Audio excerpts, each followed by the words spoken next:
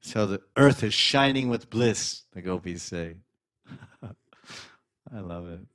It must be, what austerities did you do? And so, considering like this, the gopis ask, and um, thus, we want to understand because Krishna is touching you with his feet. And wherever Krishna may be, he stands there touching you with his feet. And the gopis hold Krishna's feet on their breasts. They massage them. And, and they, they want that position. Go, and Mother Bhumi is caressing Krishna's feet at every moment. What kind of, what is this? Wherever Krishna may be, he stands there touching you with his feet. Thus, you are enjoying Krishna's physical contact day and night. Please tell us, what austerities did you do to bring about this condition? Hearing that our lives will become successful, seeing that the earth is failing to reply, the gopis remember her past and they presented their conjectures. They said about Vamana Dev touching her and Varaha, which we said. they said, What austerities did you do to be embraced?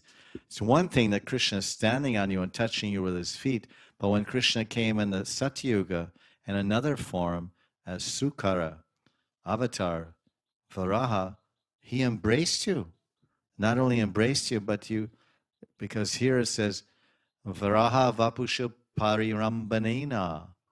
Varaha Vapusha, Vapu means body.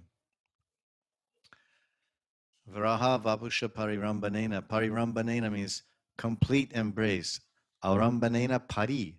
Pari means completely encircled, but Parirambena also means more, everything that goes with that. When lovers embrace, there's a many krama, many krama and sequence afterwards.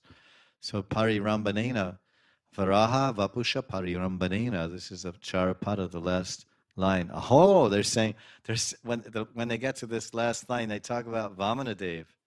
They don't say aho. Say, oh, Vamanadevi, Trivikram, Vaman avatar, he touched you with one foot, and then Swarga, then the entire universe and creation.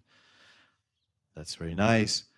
But Oh, but what about this time? What about this experience you had with Krishna and his form as Varaha and Satyuga? Aho, what about this? Aho, aho. Aho means alas. Wow, Shavas. Shavas, what is this? Varaha Vapusha Parirambanena. He embraced you so tightly that you combined together and produced a son. And who is the son of Varaha and Bhumi? Do you know? Bhaumasura. Bhaumasura is also called Narak, Narakasura. And the Dwarka Leela of the Dasama Skanda, the 10th canto, Dasama Skanda, 10th canto of the Bhagavatam.